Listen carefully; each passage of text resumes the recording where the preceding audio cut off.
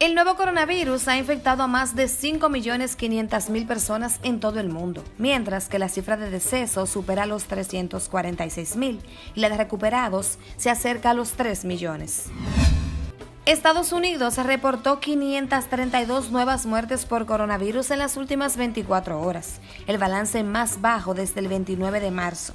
De esta manera, la cifra de decesos por COVID-19 en ese país ascendió a 98.218.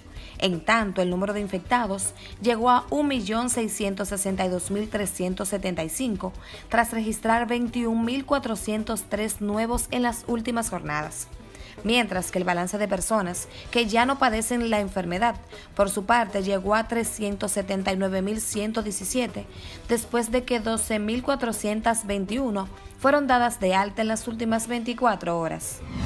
Rusia ha confirmado este martes 8.915 nuevos casos de infección por COVID-19. Además, 174 pacientes fallecieron a causa de la enfermedad, lo que supone un aumento de casi el doble frente a los 92 decesos registrados el lunes. España superó los 235.000 contagiados y los 28.000 fallecidos por coronavirus. Ese país se encuentra en la fase 1 y 2 de la desescalada a la nueva normalidad, donde comienzan a verse las terrazas abiertas y los primeros centros comerciales abiertos con los aforos limitados debido al coronavirus.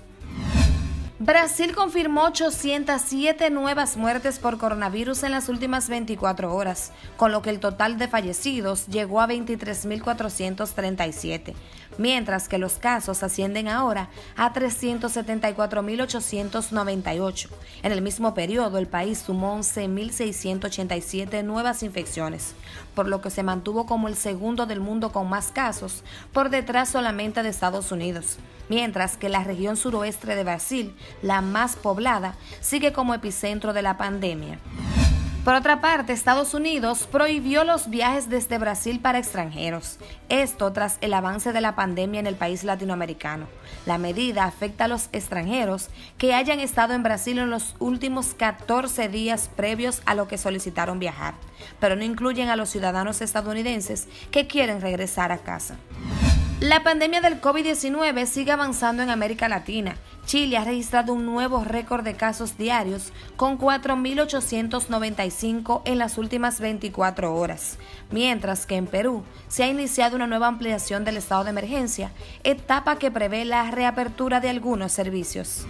El presidente de México, Andrés Manuel López Obrador, aseguró que el país ya está saliendo de la pandemia. Según lo planificado, esta será la última semana de la Jornada Nacional de Sana Distancia y próximamente se reiniciarán las clases en algunas regiones, así como el reinicio de actividades esenciales en los sectores automotriz, de minería, de construcción, entre otras. Sin embargo, el mandatario instó a que no se relajen las medidas preventivas. Y este fue el resumen de las noticias internacionales. Continuamos con ustedes y nosotros. La mejor forma de decir buen provecho.